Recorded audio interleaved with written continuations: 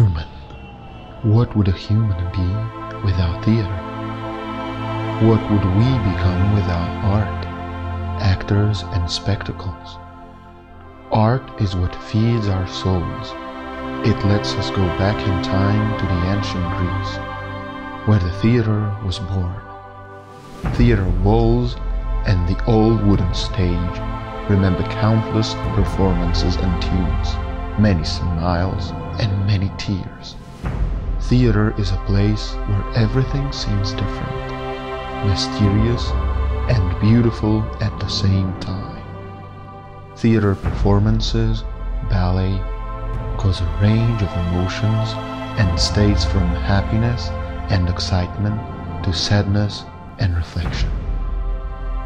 Today, however, a new question arises.